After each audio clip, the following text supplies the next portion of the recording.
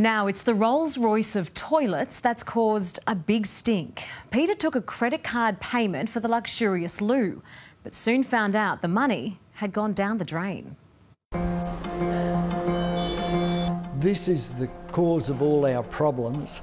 This is a toilet that does everything, even opens and shuts by itself. This is a story about a $5,000 toilet, a bank, and a retailer who says he's been ripped off. This is our most expensive toilet. It even comes with its own remote control. And to steal one of these things, what a crappy thing to do. Yes, you want to buy a toilet?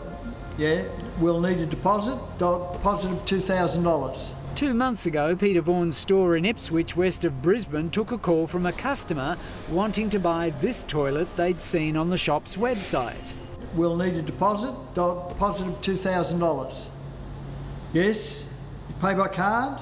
Thank you. We ordered the toilet and it had to come from Melbourne, so it took three weeks. So this was a credit card transaction like you've done many times before? This, I think, most retail businesses do. Yes, we take the card, we get it authorised, and then we proceed with the sale. Now, you'd think if the credit card used to make the purchase had been stolen, it would have been reported in the three weeks it took for the toilet to arrive in Queensland. But it wasn't. In fact, the phone customer used the same credit card details to pay the balance when it did arrive. So we delivered it as asked, we got it signed for, came back to the shop. And a month later, the bank contacts you. What do they say? The bank has informed us that the customer said it is a fraudulent transaction and they have told us they are going to take the money out of our account. Sure enough, in an email from Peter's bank, Westpac, it says the transaction has been raised as unauthorised by the cardholder. This is a fraud transaction. We don't know if the card was stolen.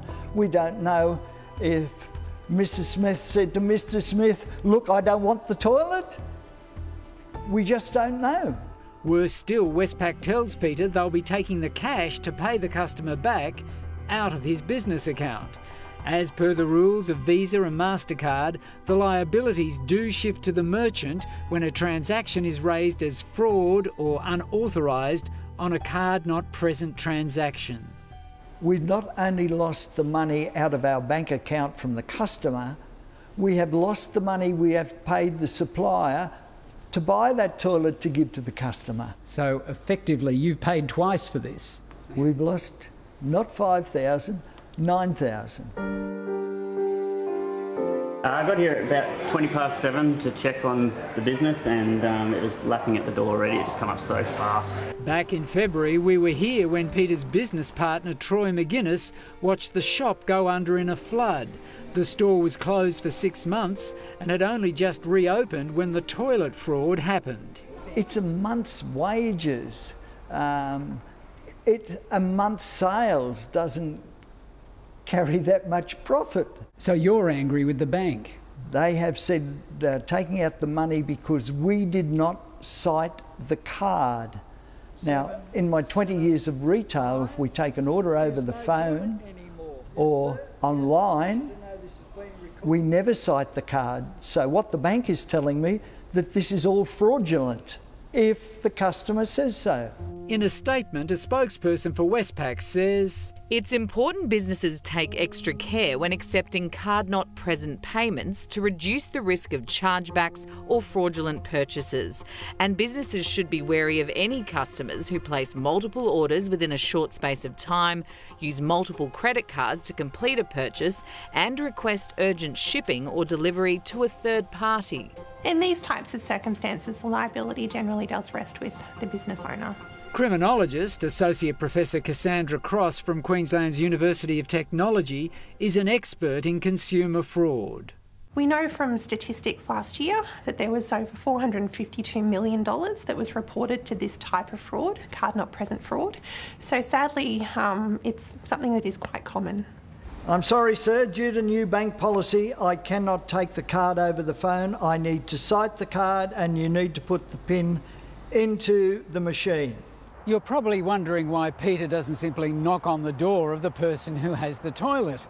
Well, the trouble is, he doesn't know where that person lives.